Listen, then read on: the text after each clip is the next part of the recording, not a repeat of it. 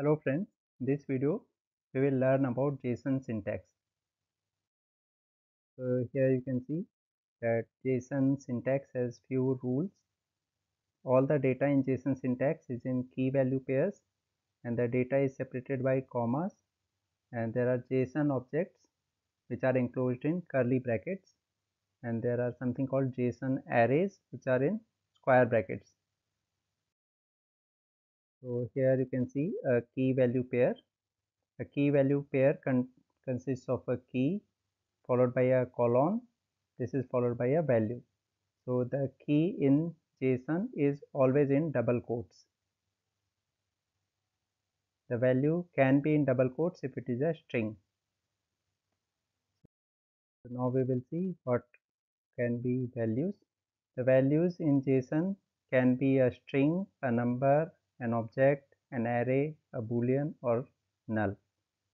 So here you can see this apple is a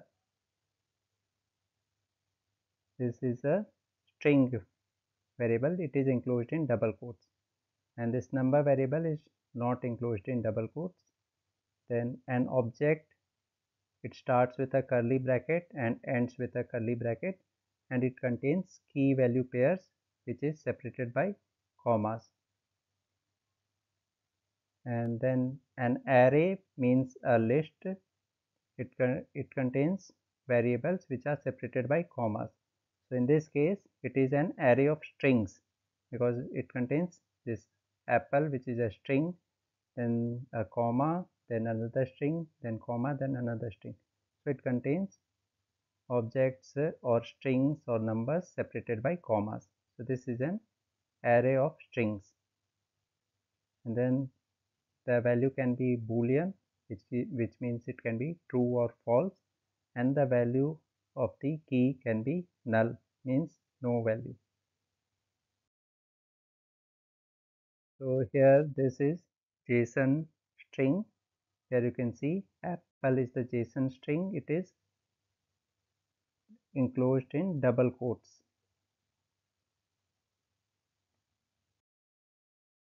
And numbers in JSON can be an integer or a floating point and it is not enclosed in double quotes. So here the value of this key is a JSON object. Okay, you, it is it starts with a curly bracket, ends with a curly bracket, and it is it contains key value pairs which is separated by commas. So this is a JSON object and this whole thing is also a JSON object. So this JSON object contains a key value pair which is fruit and its value and value of this fruit is another JSON object which contains more key value pairs which are name, apple, color red and count 5. Now JSON arrays.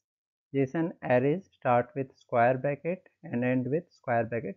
So here the value of this key fruits is a JSON array and here it is an array of strings because these are strings separated by commas. And here is another example where the array is an array of numbers separated by commas. And here in this example this is an array of objects. Okay here is the first object which starts with curly bracket ends with curly bracket. Then there is comma then there is the second object after that another comma and then the third object and then the square bracket. So this value of this fruits is a json array. And this whole thing is json object which contains key value pair. So json booleans means the value of key is either true or false and the value of the key can also be null. In Sketchware, the map variable code is hash map string object.